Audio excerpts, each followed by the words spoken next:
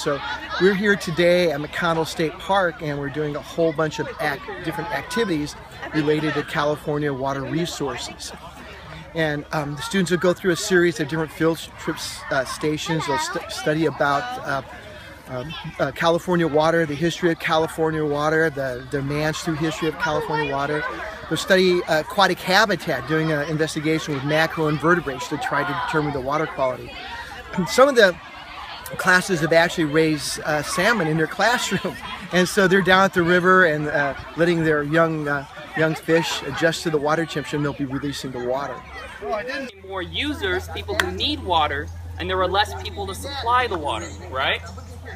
So you need to deliver more water because we got more people in California now, right? Like they're mining gold, they're building towns and cities, right? So I want you to fill up all those sponges with water and go put it in the bucket. We're gonna see how much water.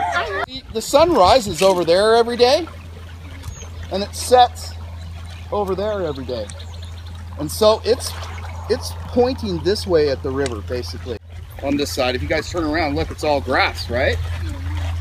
But let's say you wanted to fix the riparian vegetation. And maybe one of you